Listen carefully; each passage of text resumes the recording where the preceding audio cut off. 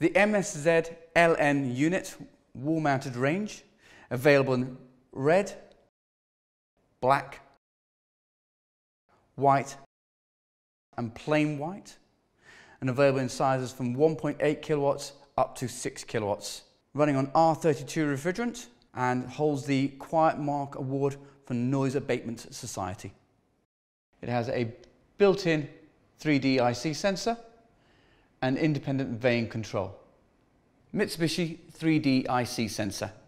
So this added feature will do a 360 sweep of the room with an infrared camera and from that it will build up a map of the actual room temperatures.